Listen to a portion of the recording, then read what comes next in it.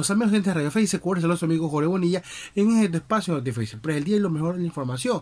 Y les tenemos duelo de ponchos en el Ecuador. El señor Leonidas se le responde de forma contundente al señor Salvador Quispe, que da con su cantaleta que los correístas y que todo el que pide fiscalización para llorar y los asambleístas involucrados en los casos de corrupción, dice ahora que es correísta. Esta situación es insostenible y el señor Isa sale a, a decirle sus cuantas verdades y a decirle que se cae ya, que él es un trabajador y un empleado del banquero. Es algo fuerte. Y aquí te tenemos para contarte para que tú conozcas y sepas de primera mano, estés enterado. Por favor, es muy importante que suscribas al canal de YouTube, que nos dejes tu gran like y así mismo actives la campanita. Eso es completamente nos ayuda a seguir adelante. Con esto somos Radio Face y empezamos. Las noticias no paran y al parecer hasta los señores con poncho ahora nos dan noticias. El señor Leonidas dice es normal, pero el señor Quispe, ¿qué pasa con el señor Quispe? No sabe qué hacer, anda desesperado, declara por un medio, declara por otro. Quisiéramos aquí también para interrogarlo y preguntarle cuál es el afán de salir a defender a la señora Yori. Vemos que ella defiende más a Yori que la misma Yori ella mismo. Entonces no sabemos qué pasa con él. Y repite la misma cantaleta, que quieren apoderarse de lo que es la expresión de asamblea para poder cogerse la para la ciudadana. Esto repite tantas veces que ya parece vieja canzona.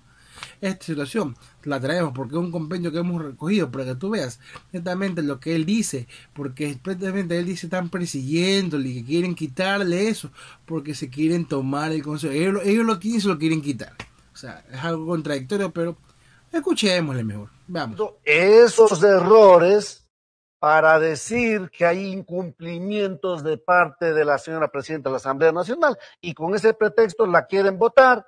¿Para qué? Para reconfigurar una nueva mayoría en la Asamblea Nacional, para con esa nueva mayoría avanzar con los juicios políticos, tumbar a esa mayoría del Consejo de Participación y volver a recuperar la presa de la que hablamos hace un momento. Espero que por la salud de la política ecuatoriana y de todos los quehaceres de la vida nacional no esté pasando eso, porque sería darle oxígeno para que vuelvan, porque claro que aquellos desde el ático quieren volver por otros 20 años, pues, ¿para hacer qué? A cuento de recuperar la patria, seguir entregando a la patria para intereses de Australia, de Canadá y tantas cosas que estamos viendo que son los resultados del gobierno de entonces. Luchando contra la corrupción de Guadalupe.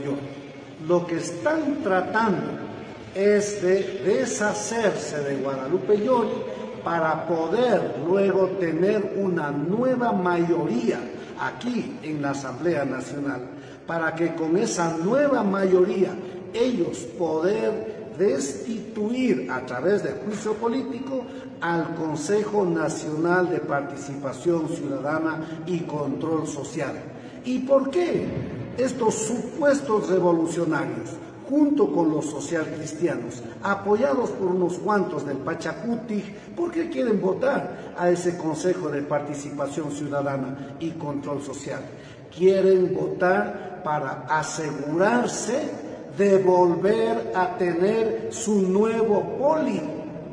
Quieren tener su contralor para que ese contralor le siga tapando los actos de corrupción de los supuestos revolucionarios y de los social cristianos.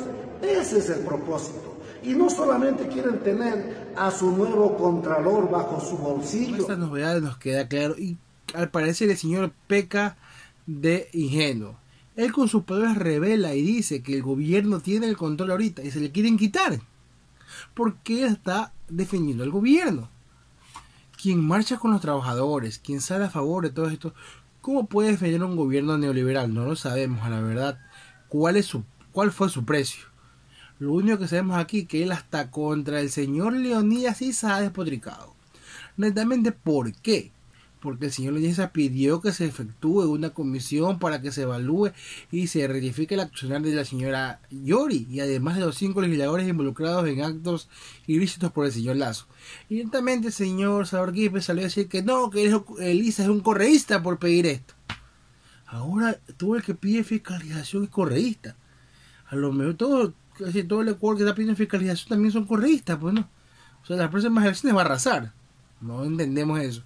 Por eso preparado una nota muy especial para que tú sepas y te qué está pasando, qué se dijeron en estos personajes, porque la conversación fue bastante fuerte en lo que son sus redes sociales, en las cuales se dejan bien claro que la oposición entre ellos es bastante fuerte. Uno a favor del banquero y otro a favor del pueblo. Veamos la nota. Por favor, suscríbete, buen tu comentario es muy importante para llevarte las mejores noticias. Veamos. Duelo de ponchos en el Ecuador. El señor Leonidas Isa le responde duramente al señor Salvador Quispe y le deja clara y les puntos sobre las IES, pues viene con la misma cantaleta. Según indica el señor Salvador Quispe, Dijimos que frente a las denuncias de Lazo y Fiscalía se investigue y en el caso de castiga a todos los responsables. Nadie está poniendo en mano de fuego por nadie. Presidente de la CONAIE, ya basta de hacer el juego a la bancada de UNES y a todos los correístas.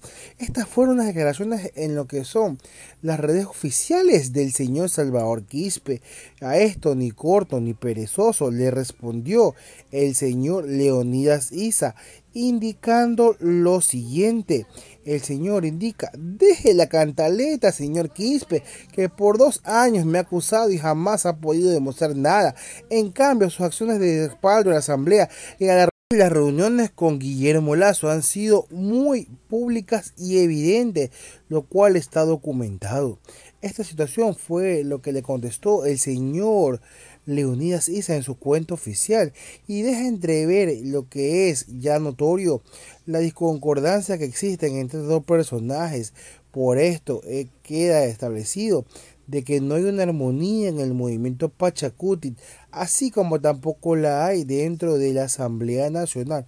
Por eso tenemos los problemas que estamos evidenciando y queda bien claro que la Asamblea del Ecuador es un reflejo de cómo se manejan también las bancadas aunque el señor Isa no es parte de la bancada.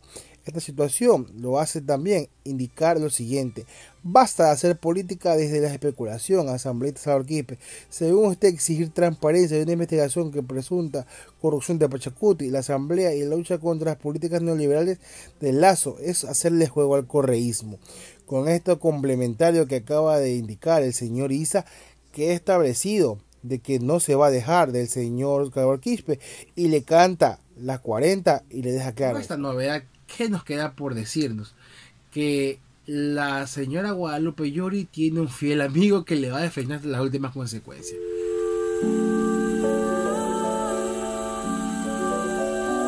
Último momento, el asambleísta Salvador Quispe al parecer se determinó el romance con la señora Yori, pues le da la espalda y firma pellitorio del señor Gruber Zambrano para poder una demanda en contra del CAL, con lo cual la señora Yori también estaría involucrada, pues ella es parte del mismo. Con esto queda claro que ya hasta sus amigos más aférrimos le están dando la espalda a la señora Yori. En muchos traeremos más noticias al respecto. Así mismo, el señor Leonidas, aquí lo habíamos reclamado antes, que por qué estaba callado, que por qué no se pronunciaba, que por qué no decía nada. Al parecer vuelve a pronunciarse y esta vez para ponerse del lado correcto. Es bueno esto, por lo menos lo categorizo como positivo. Y es algo importante de destacar, que vemos que no le importa ir contra su amigo de Poncho, con tal de defender al pueblo. Y eso es lo que se debe de hacer. Sin vejamiento, sin ver que no, que porque usa el mismo traje que yo, ponerse del lado de él. No, aquí él está con el pueblo y eso lo rescatamos y es muy importante. Creo yo que hasta aquí dejamos esta emisión. ¿Qué pasará con este duelo de ponchos? ¿Quién tendrá más grande el poncho? ¿Quién se aferra más a su poncho? No lo sé, la verdad. Aquí estamos en quien use su poncho para defender al pueblo. Con esto terminamos esta edición. Es muy importante subir al canal de YouTube que nos dejes tu comentario y que no dejes activar la campanita, suscríbete al canal de YouTube y déjanos ser like que es completamente gratis. Déjanos saber qué opinas de esta eh, batalla de ponchos, eh, perdón, qué opinas de este duelo de ponchos, que es bastante interesante, pues se han dicho bastante cosas fuertes. Así mismo nos despedimos. Una puntualización antes de irme. Si a lo mejor ustedes ven en los títulos que son modificados muchas veces las palabras con letras, no es por algo malo, no es por temor ni porque me estoy escondiendo, es para que el algoritmo no censure. Es por eso. Por aquí Jorge Bonilla nunca se esconde, siempre da la cara ante cualquier situación, porque solamente el pueblo se lo defiende de esta forma, no con la espalda, no con medias tintas, como siempre me ha caracterizado desde el primer programa y para a caracterizar hasta el último que dé Por ahora nos despedimos, amigo gente. Déjanos tu like, tu comentario es muy importante para llevarte las mejores noticias. Nos vemos, mis amigos. Chao.